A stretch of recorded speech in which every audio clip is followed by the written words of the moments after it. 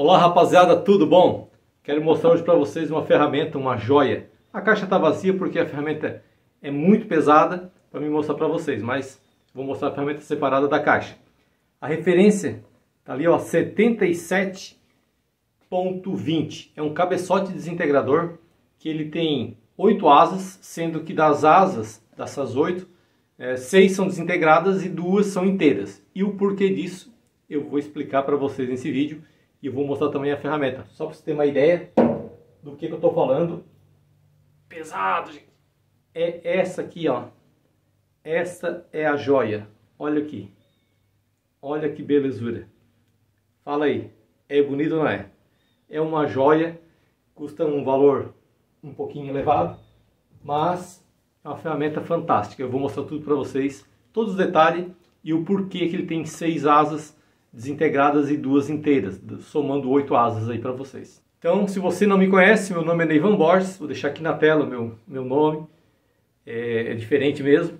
E a gente fala nesse canal aqui tudo com ferramenta e máquinas e soluções para corte de madeira. Então, esse é o nosso canal. Se está chegando agora, seja muito bem-vindo.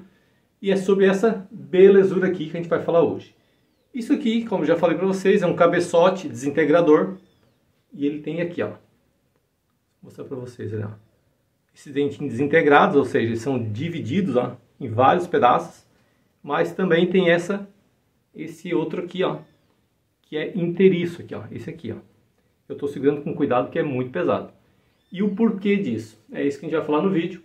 Então esse, esse cabeçote, ele trabalha em par. Vai numa máquina que ele trabalha na horizontal. Vai um embaixo e um em cima e a madeira passa no meio fazendo o planeamento é usado nas quatro faces. Pessoas conhecem também como moldureira, as planas moldureiras, que usa muito esses cabeçotes aqui de vários formatos. Até eu tenho um vídeo que eu vou deixar aqui no card, que usa na mesma moldureira, né, nas mesmas máquinas, para fazer cabo de vassoura, então tem o mesma coisa, trabalham em cima e embaixo, a madeira passa no meio e os cabos ficam prontos. Então agora nós vamos mostrar para vocês os detalhes desse desta joia, né? Que realmente já vem numa caixa de joia, porque realmente é uma joia e é um par. Trabalha um par dessa linda ferramenta, trabalham juntas. Eu falei no, no vídeo, né? A referência desse cabeçote é o 77.20, que ele tem três desintegrados e dois inteiriços, né? Então é o 77, referência 77.20, e ele é um cabeçote desintegrador 6 mais 2, tá? Então esse aqui é o nome dele. Utilizado em quatro faces, né? Que é as moldureiras. Então pode ser usado tanto na horizontal quanto na vertical. Tem gente que usa dois cabeçotes esse aqui na tupia, né, que a madeira vai passar aqui no meio. Ou seja, você pode botar dois horizontal e dois vertical e passar uma madeira, no caso desse aqui, de 17 por 17, porque ele tem 17 centímetros aqui, ó, 170 milímetros. Então, se você usar quatro desse aqui numa máquina, você pode passar um barrote de 10 por 10, de 10, sei lá, 15 por, por 10, fazendo os quatro lados ao mesmo tempo. O diâmetro, né? O que é o diâmetro? De ponta a ponta aqui, ó, daqui até aqui, né? Circunferência total é 125, tá? Então as oito asas de ponta a ponta de asa dá 125 milímetros. É o suficiente para trabalhar com as máquinas moldureiras. A furação, esse aqui tem um furo de 40 milímetros, tá? Mas caso a sua máquina seja de 30, 25, ou 38, conforme a, a, a, idade da máquina, tem uma, uma geração. As mais novas estão vindo com eixo 40, né? mas já, já tem máquina com eixo 50 também. Então, a questão do eixo a gente faz conforme o cliente quiser. Mas o padrão hoje seria 30 e 40. Mas se for 38, a gente faz também, como esse aqui é 40 ou 50, ou a medida que você necessitar. Se a sua máquina for uma máquina de repente especial, né, fora do fora do padrão, a gente faz a ferramenta para a sua necessidade.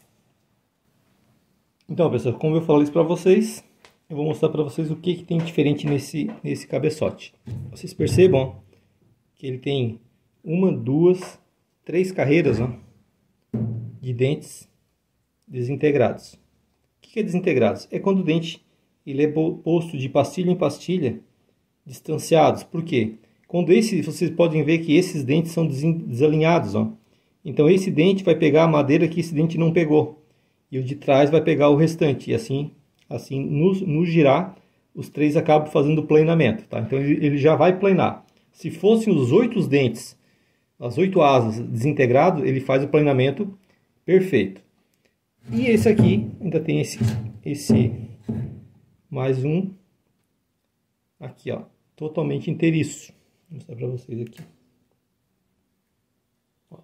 Totalmente inteiriço. E é a diferença e a diferença que isso faz, tendo um inteiriço, é muito importante. Por quê? Quando o cabeçote é novo, se ele for todo desintegrado, ok, não vai ter problema nenhum.